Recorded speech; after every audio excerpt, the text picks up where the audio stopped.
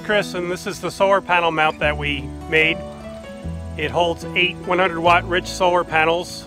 It's adjustable to different sun angles and it can, can be moved to different locations. It's freestanding.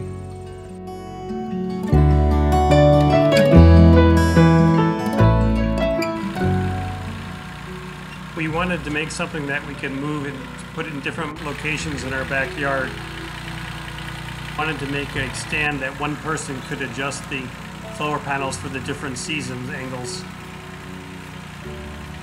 We looked at larger panels, but the cost of shipping by freight is really expensive.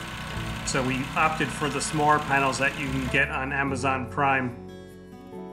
Here's the adjustable solar panel mount that I made. It's meant to work with up to eight Richsolar panels, 100 watt ones. The base is built out of 6x6s that I had around.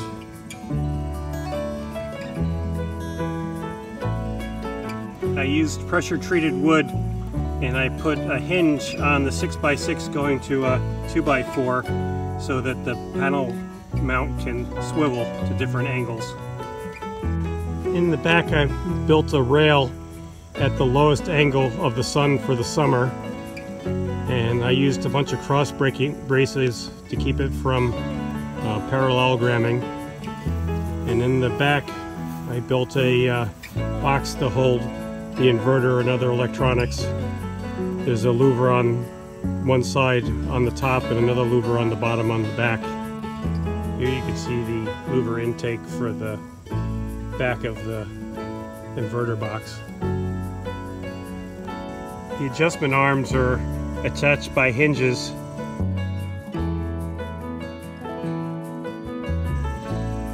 And it goes down to a blocks that sort of help you set up the panel for the different angles.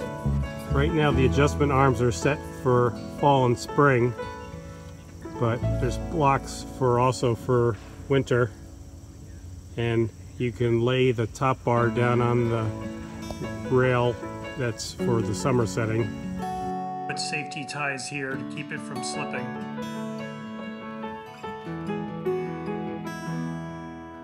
The panels are configured in a 2S4P configuration. For this inverter you need two 12 volt panels in series to get the correct voltage.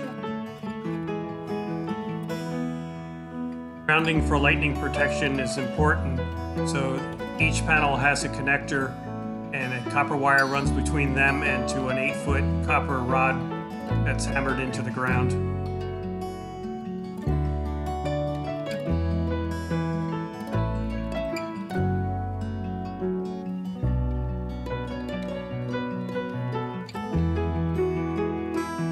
make the unit strong, there's diagonal braces on each end. There's a diagonal brace on the ground